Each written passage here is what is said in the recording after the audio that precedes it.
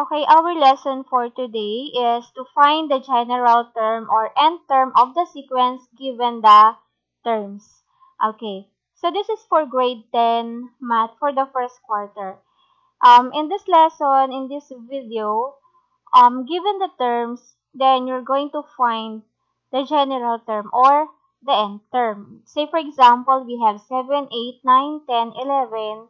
Okay, the general term is a sub n equals n plus 6. Okay, so that is our lesson for today. One.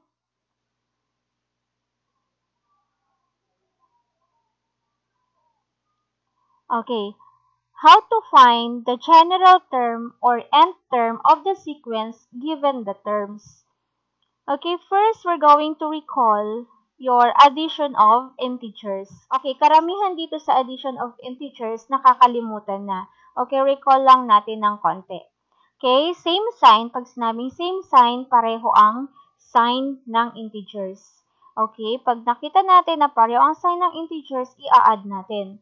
And then, copy the common sign. Let's say, parehong sign yung integers. Halimbawa, parehong positive, i-add natin and then, kopyahin yung sign na positive. Or, kapag parehong negative ang integers, i-add natin yung integers and then, kakopy lang natin yung sign which is negative. Okay.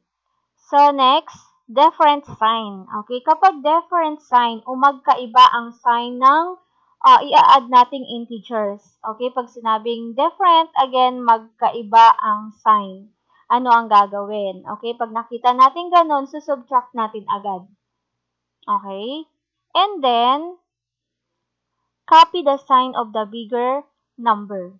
Kopyahin ang sign ng mas mataas na number.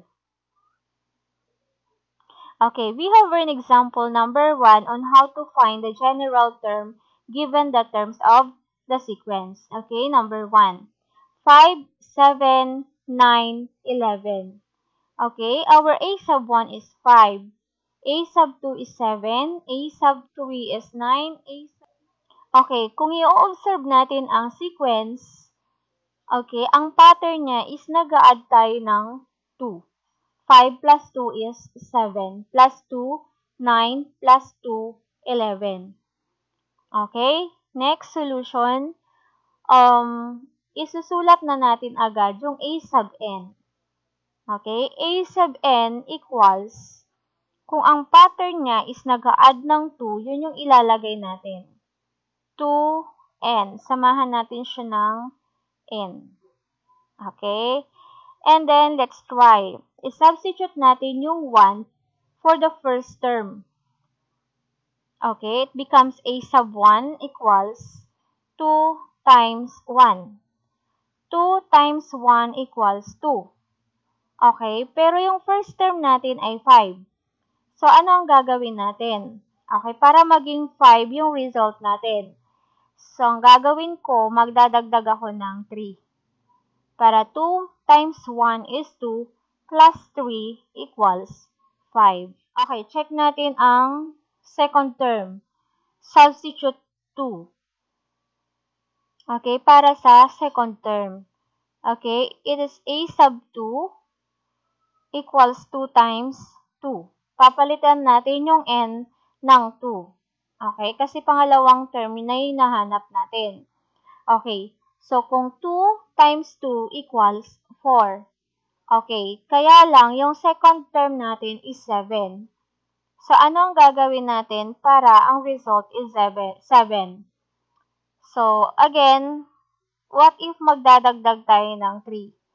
4 plus 3 equals 7. Okay, so that is your second term. Next, kung isa-substitute natin yung 3 for the third term, so it will become a sub 3 equals 2. Okay, 2 times 3, yung n, pinalitan natin ng 3. Okay, so 2 times 3 equals 6. Kaya lang, ang third term natin is 9. So, ano ang gagawin natin para maging 9 yung result natin? So, again, magdadagdag tayo ng 3. 2 times 3 is 6 plus 3 equals 9. So that is your third term. Okay, next. To find the fourth term, magsasubstitute tayo ng 4. So now we have a sub 4 or fourth term equals, okay, base, base given pattern, we have 2 times the n, which is penalitan natin ng 4. So 2 times 4 equals 8. Okay, but the fourth term is 11. Okay, so we need to add 3 to get 11. Okay, so therefore we have 5, 7, 9, 11 for the sequence. Okay, okay therefore a sub n equals 2n plus 3.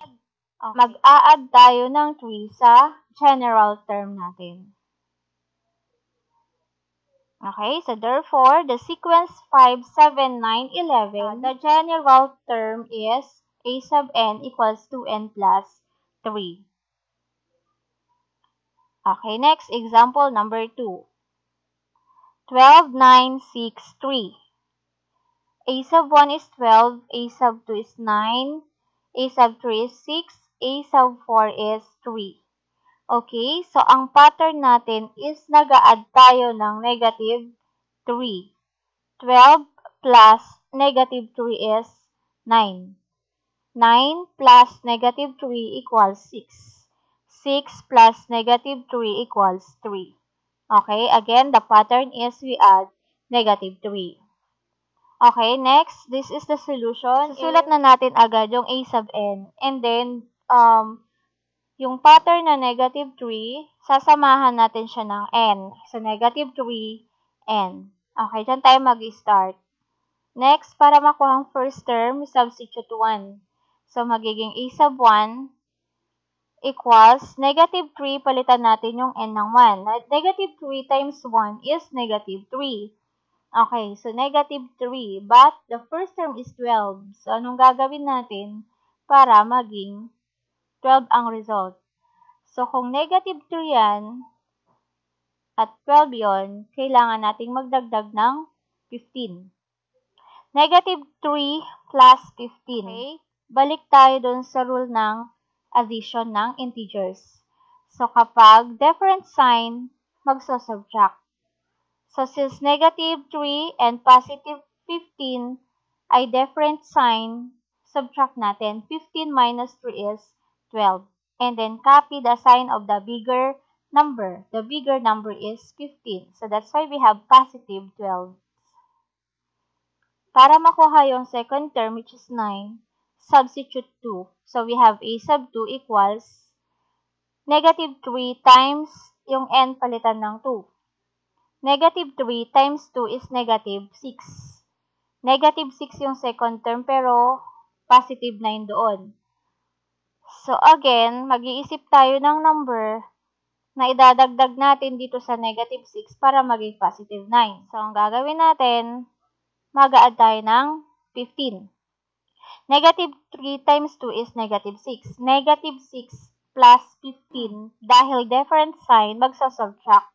15 minus 6 is 9. Okay, and then, copy the sign of the bigger number, which is positive. Then the answer is 9.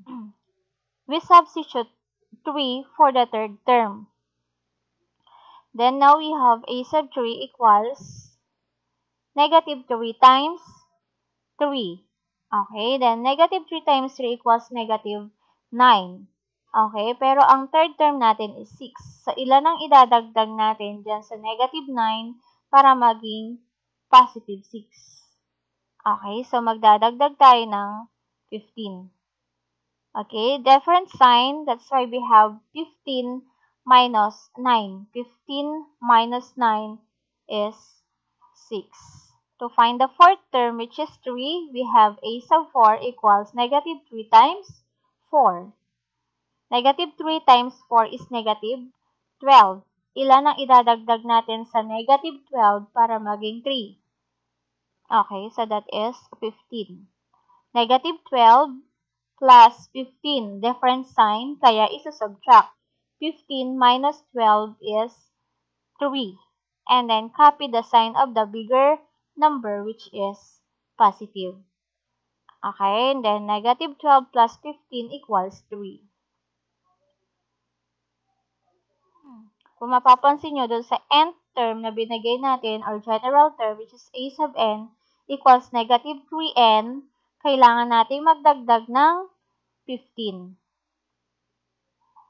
Okay, so that's why um, 12963 ang general term niya ay a sub n equals negative 3n plus 15. Okay, next, number 3. 3, 9, 27, 81. A sub 1, A sub 2, A sub 3, and A sub 4. Next, ang pattern niya is nagmumultiply tayo ng 3. 3 times 3 equals 9. Times 3, 27. Times 3 equals 81. Okay, so solution, rewrite agad natin yung A sub n equals, okay, so ang pattern niya is 3. Since multiply siya, uh, i-erase natin siya sa n.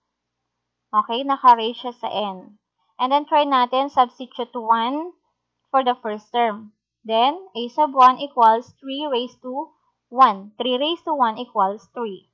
Okay, check for the first term. Next, to find the second term which is um 9, we substitute 2.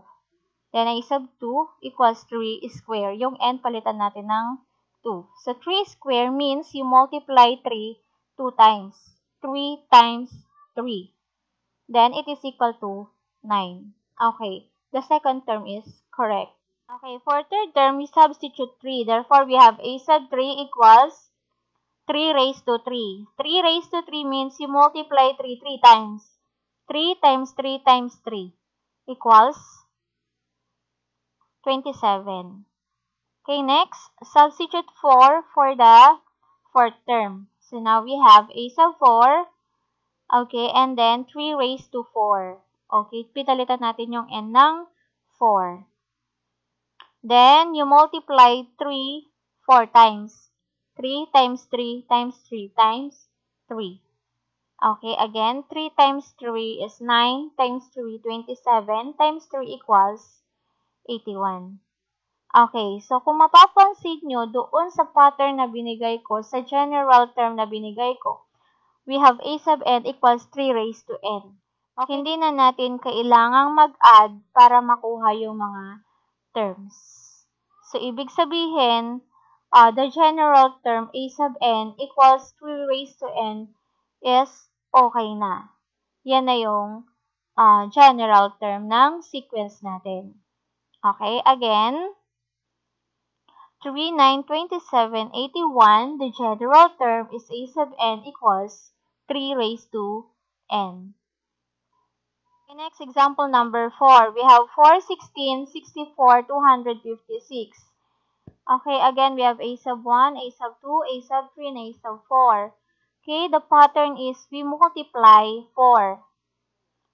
Since we multiply 4, our solution now is a sub n equals 4 raised to n. Okay, 4.